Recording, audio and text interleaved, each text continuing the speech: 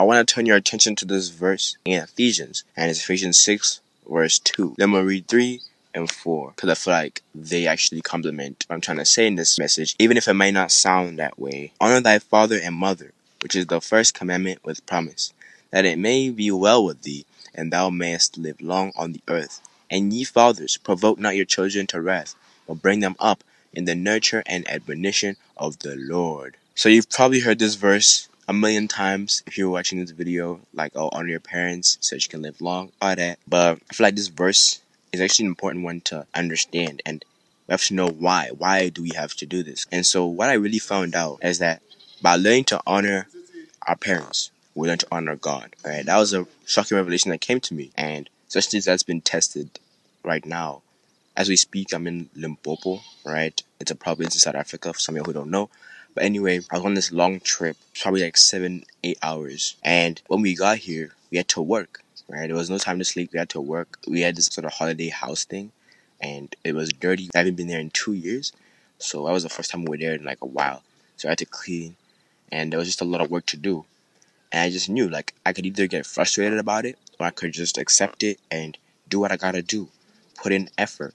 Made my brother put in effort, and we, got to reap the fruits of that. Now the house is clean, you know, like we don't gotta worry about nothing. It's it's cool. We have to make food as well, and like we're just like okay, it's a lot of work, but we're still gonna do it because you know we're honoring our parents. And I feel like people misuse Ephesians six verse four. A lot of teenagers tend to misuse those verse, and they think just because they feel some type of way, and that means that their parents are rebuking them to anger. But that's not always the case. Sometimes that feeling that you feel, that frustration that you feel, it's just a result of being humbled, right? As humans, we're naturally prideful. It's in our nature to be prideful, right? Because we were born in sin. And so when you're humbled, obviously it doesn't feel good, but it's actually good for you. Kind of like some foods. Some foods, they don't taste good, but they're good for you. Some foods taste good, but are not good for you. Right? Pride feels good, but it's not good for us. An example of fathers provoking their children to anger is when they do that and it doesn't provide fruits. There's no like real substance behind it.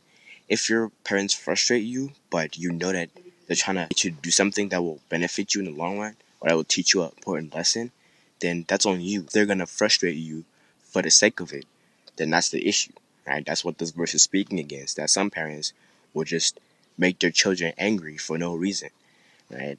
But sometimes we feel some type of way because we're being humbled. And that process will also help us to humbling ourselves before God. Yeah, that's the whole message. I hope you found value from this video. If you did, make sure to subscribe to Jesus Gang because we put out videos all the time.